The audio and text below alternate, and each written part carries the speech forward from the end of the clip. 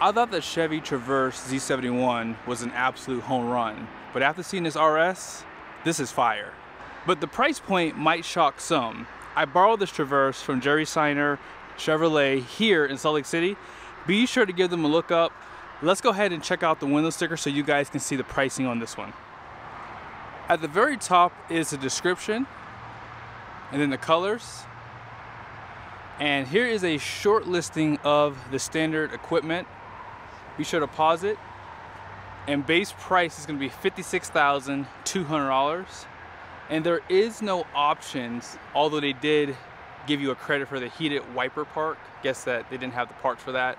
Destination comes in at $13.95 with a total price of $57,495. And here is the fuel economy numbers for the Traverse now. So yes, depending on who you are, that might be a lot of money, but this redesign is done extremely well. Here's a 2019 Traverse. Here is the 2024. So yes, five years later, this thing is absolute fire for sure.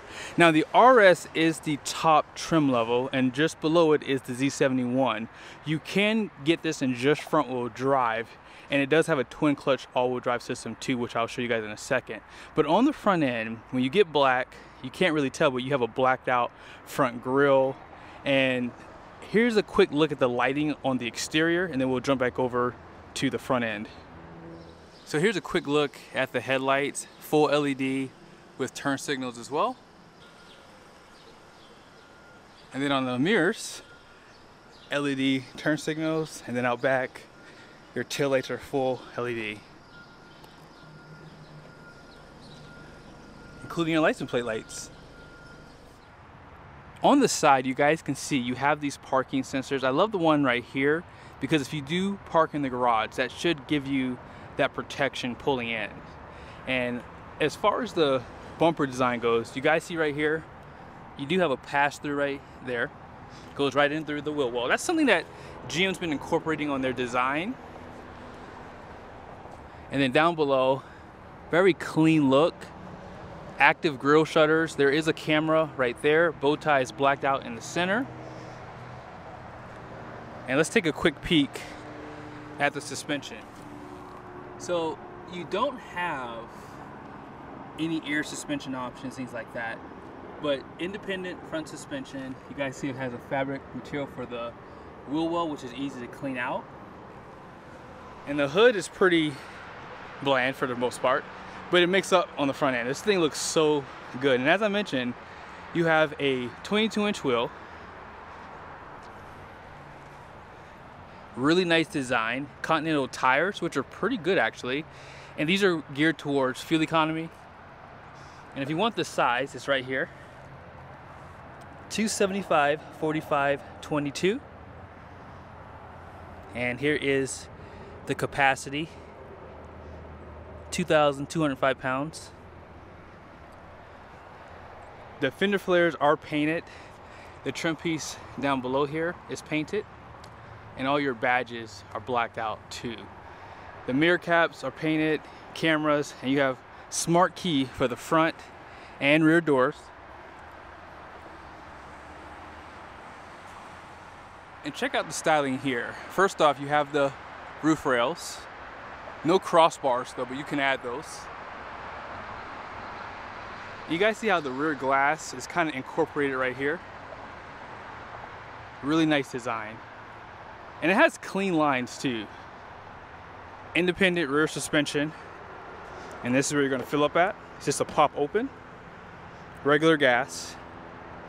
And it's probably an 18 to 20 gallon tank. They don't have any specs right now, but rear parking sensors right below. And then all out back, quad exhaust. They do hide the hitch for you.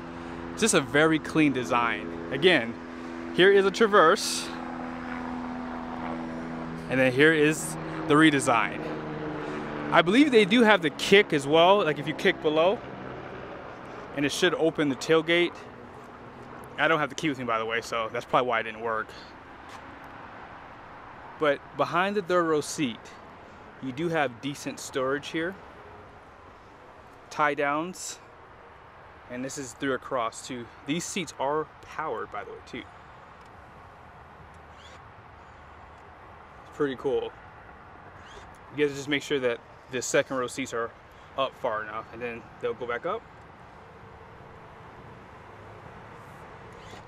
And then you have this storage below. Pretty big, pretty deep. 12 volt plug right here. And there is a tray that is available. You guys can see some of the speakers out back too. And to put this back down, they do have a grab handle where you can push the button. And here it is in the shade.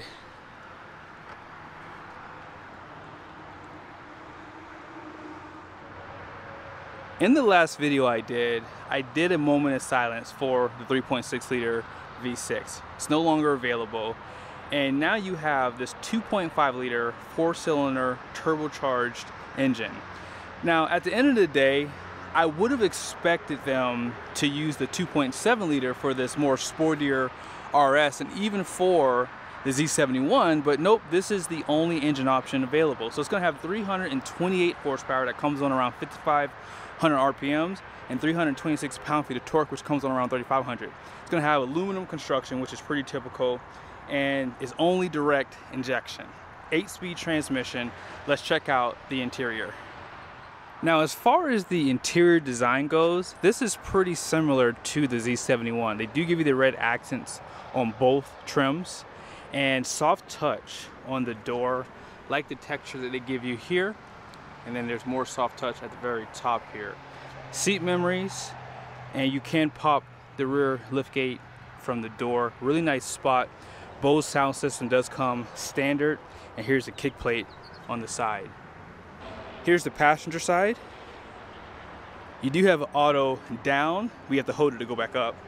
And then check out the dash. This is soft touch.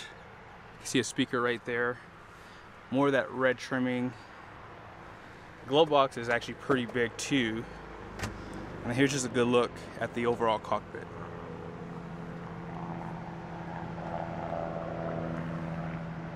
Now as far as the seats go, you do have a 12 way for the driver and a 10 way for the passenger. And that's including the lumbar because it goes up and down, in and out obviously. Stepping in is pretty easy. This trim piece is pretty low. And overall, this does sit lower too, to the ground. And then here's some of your controls. You have electronic parking brake, your drive modes, and all-wheel drive button. And then you have your auto stop start. And if you want to dim this screen down, you can power folding mirrors. I didn't see that on the Z71 by the way. So you do have that for the RS and they are heated mirrors too. Now the Super Cruise does come standard as you guys can see. So you have some of these monitors there. Push button starts off to the side. This is an 11 inch screen and this one's almost an 18, 17.7 inches. That's a huge screen and it has that layout like you guys have seen in the Escalade. I love that they've done that really cool. And something that you probably noticed, you didn't have a lot of those buttons that you see for like your lighting, you know, outside on the interior. And that's because they do give you your lighting here. So because you have automatic headlights, you don't really need buttons for them because they come on and they turn off automatically. So I do understand why they did that. Now, as far as the 360 camera goes, there is that. That comes standard. And you guys can see this is a backup. And if you want to see overhead they do have that as well. They do have side view. And if you hitch up to a trailer there you go. Also they have trailering lines. Let's go back actually. So you, you have trailering lines and you can turn off all the lines if you like. But yeah this is done really well. I like the layout. They've done a pretty darn good job. They also have sprayers for the cameras out back. So when these cameras, you see this is a 4K uh, mirror.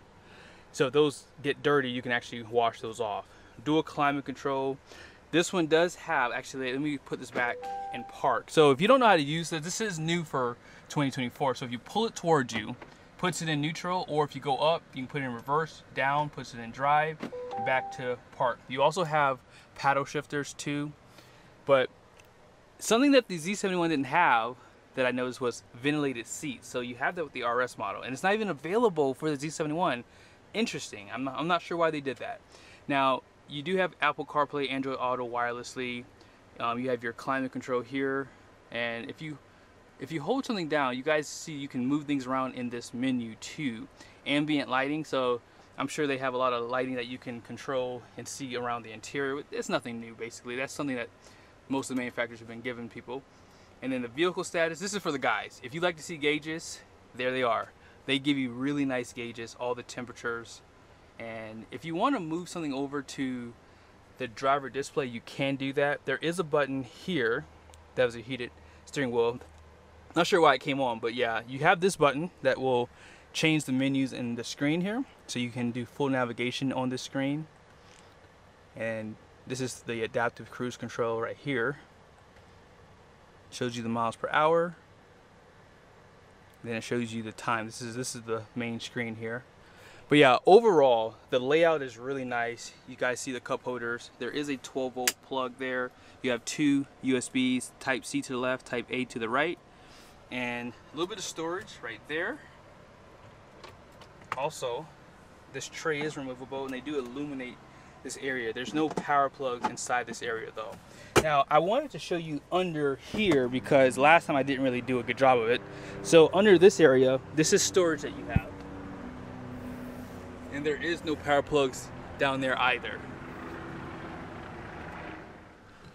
So you guys did see the all-wheel drive button and then your drive mode. So let's go over the all-wheel drive really quickly. So you guys can see the icon right there. This is basically in two-wheel drive if you don't need the all-wheel drive. But if the snow comes, you hit the all-wheel drive button, you guys can see you can pretty much switch it to all-wheel drive. That's the twin clutch setup. Here's some of your driving modes too. This is really nice. I hit the parking brake by mistake though, but you guys can see here's some of your drive modes actually on this screen. So they have tow haul, normal, sport, off-road, which no one's gonna use, snow and ice, back up to tow haul, and normal. So I'm shocked that they don't give you like an eco mode. I would like to see that personally. Now the air vents are down low, but they do give you a nice amount of air to your face if you point them up that way. But yeah, I think that this is done well. Like the fit and finish and the level of quality of the trimming in here is really, really good. Now they did relocate your caution lights up here. You guys can control this huge twin panel moonroof. And then this is a spot for your sunglasses. On this side, you have your vanities with lights. Same thing goes on this side. Let's go ahead and check out the back.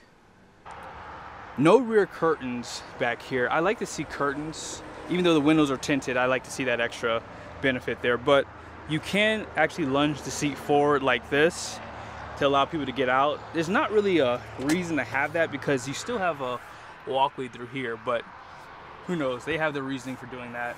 But you guys can see down below, single climate control, heated seats for the second row occupants, two type C USBs, and then you have a 120 volt plug with storage down below, back pockets. Yeah, they did this right. This seat does obviously recline and it does slide forward and back too, like that. Now, in the third row seat, they do have two Type-C USBs on both sides, a little bit of storage. And this is decently sized. I, I would say that sitting back here would not be fun for tall people like me, but if you're 5'8 or shorter, I think that you'd be fine back here. Three across, as I said. And these seats are actually perforated. Here are the numbers on the door. You guys can see the gross axle ratings and gross vehicle weight is over 6,000 pounds at 6,394. 22 by 8.5 wide wheels and here is the payload. So decent payload for a midsize SUV at the highest trim level too. So that's pretty cool. But I hope you guys liked the video. I think that this is a home run for GM. And aside from the pricing being, I mean, it's, it's priced about right. I mean, if you look at a Toyota Highlander or any of the other competitors, this is about what they cost now. And I think with the level of features that you get and the styling, it might be worth it.